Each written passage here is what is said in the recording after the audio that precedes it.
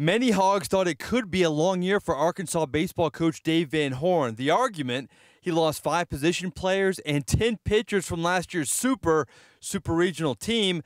But oh, that hasn't been the case.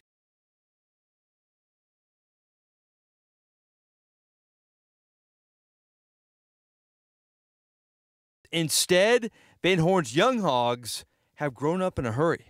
Can it be a case of you're so young you don't know any better? Um, we do have a few older guys that know better, and I think that I, I mean it can be, um, but I think once you start winning and you win one-run games, you learn how to do it. You don't panic, but I just think we're getting better. The maturation of these Razorbacks begins on the hill. After saying goodbye to his entire starting rotation, Van Horn has inserted an almost all freshman group which haven't acted their age. You know, this staff is something special, I believe. Our bullpen is uh, second to none. Our pitchers, are, our starters are definitely getting the job done. So I'm really proud of our guys, and we're, we're, we're playing well together. When we got into league play, I think the inexperience really jumped on us early. Um, we did. We lose. We lost all three of our weekend starters from last year. I've never had that before. Usually I get my Sunday guy back, he becomes your Friday guy.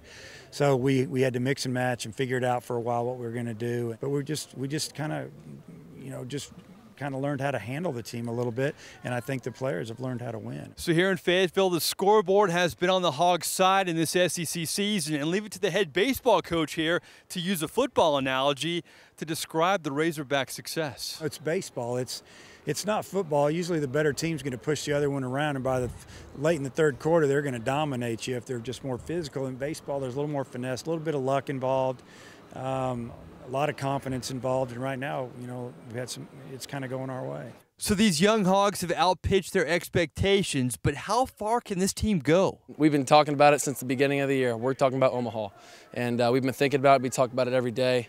Um, that's our goal, and that's the only nothing less than it is going to be reached. So we, we feel like we can make it, and we're gonna we're gonna keep on playing hard every day. You'd probably get the same answer out of every guy on this team. I mean, we're young, but we're probably the most talented team that you know, uh, most athletic team that uh, this school's had in a long time. So if we continue to grow, you know, mentally for the most part, um, you know, we'll be able to, you know, we'll go to Omaha. It's up to us, and that's that's something we talk about daily. Uh, we, we may be playing Vanderbilt or LSU or Mississippi State, but but we're really playing ourselves because the only team that can really beat us is, is ourselves. And uh, I mean, we we look to get to Omaha and, and compete for a national championship. Young and restless Razorbacks who hope the stretch run could be a fun run in Fayetteville.